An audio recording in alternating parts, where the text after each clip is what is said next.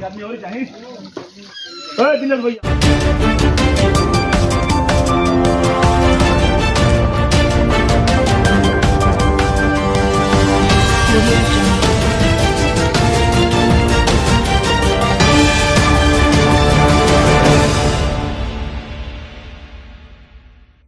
नरकटियागंज प्रखंड की भभट्टा पंचायत का हेसवा गाँव का मुख्य मार्ग। जगह जगह जल जमाव से लोगों में आक्रोश है, जिसको लेकर लोगों ने प्रशासन के प्रति नाराज़गी जताई है।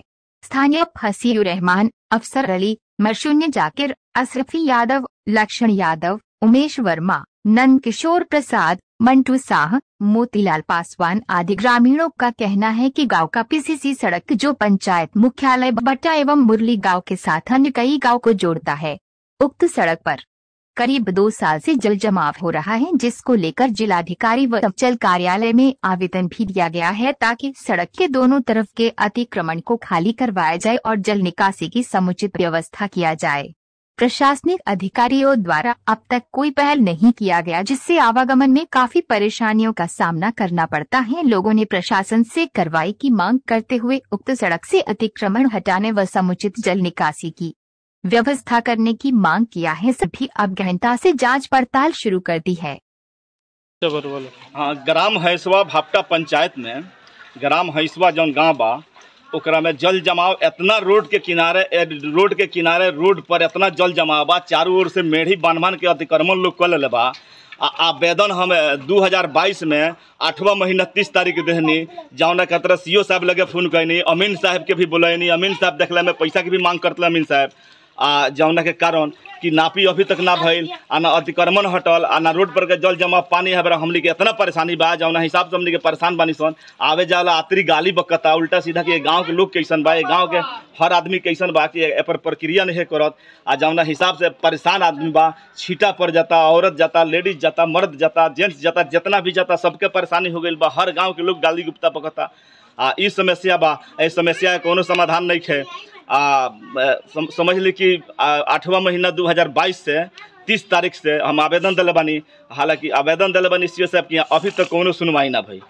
कारण हमने के परेशान बानी सन। आ यह बेरा पानी में छपके के पड़ता बारिश हो जाता तो और दशा होता। आ ये तरह तो मैंने एनी टाइम हर महीना में वहाँ पानी रहता।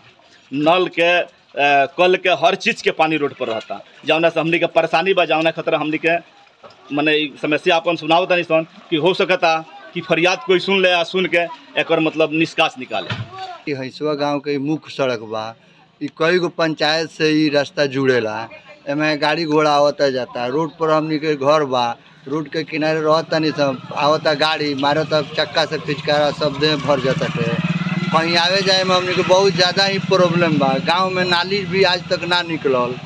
कई बार शिकायत कइल गइल अधिकारी के लगे लेकिन कोनो सुनवाई आज तक ना भइल। हम कर दिया गया है आई लड़का रामाल साहब डेढ़ दो वर्षों से प्रयासरत है लेकिन इस निरंकुश प्रशासन में शासन में सरकार में कहीं कुछ होने जाने वाला नहीं। क्या उम्मीद किया जा सकता है आदमी? क्या करे? बेचारा दो साल से परेशान है यहाँ से वहाँ तक कहाँ तक? कलेक्टर के पास पहुँचा सीओ के पास एस के पास पहुँचा। कोई प्रशासन का लोग सुनने वाला नहीं है। क्या नाम पब्लिक आपका? भुवनेश्वर वर्मा नाम हुआ। कौन सा जगह है? यह हाइसवा गाँव है भपटा पंचायत नरकटिया प्रखंड। देख पिछले दो साल से ये चल रहा है। थोड़ी सी भी बारिश हो जाती है, ये सब, समझिए कि गंगा नदी से बहने लगता है। बारिश अगर होती रही तो ये ऐसे सड़क पे चलना हम लोग का दुर्लभ हो जाता है। इधर आना जाना यातायात सब कुछ ध्वस्त हो जाता है। इसीलिए थाना पुलिस का भी हम लोग मदद लिए हैं तो वो लोग भी कुछ नहीं कर पाता है। आटा पाई, गाली गलौज पे उतर जाता है, लोग थोड़ा सा भी कुछ आदमी बोल देता है कि थोड़ा सा सफ़ाई करना उधर उधर जाने भी नहीं देता है लोग सफ़ाई करने के लिए। गाली गलौज पे उतार हो जाता है। तो अब मार झगड़ा तो आदमी करेगा नहीं। इसकी शिकायत भी कहीं किए हैं? बहुत बहुत बार शिकायत किया गया थाना पुलिस किया गया उसका पेपर भी बनवाया गया है लेकिन उस पर भी राज़ी नहीं है। क्या हुआ? शिकायत करने के बाद क्या हुआ? आकर के थाना का थाने का लोग आता है बोलता है सफ़ाई कराने के लिए लेकिन ये लोग नहीं करने देता है। और हम उसके लिए मार झगड़ा तो करेंगे नहीं। गाली गलौज देने लगता है लोग। क्या नाम के लिए उतारू हो जाता है लोग क्या नाम हुआ आपका? मेरा नाम आदित्य राज हुआ।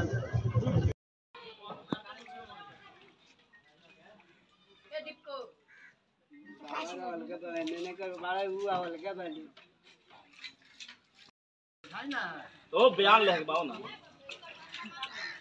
दो बड़ी लोग भागता। ये फ्री का जब मोदी के कोनो फ़ोन। एक आदमी और चाहिए दिनेश भैया आओ ना। ना बोल जाई होते जे बोले वाला भाई आओ ना।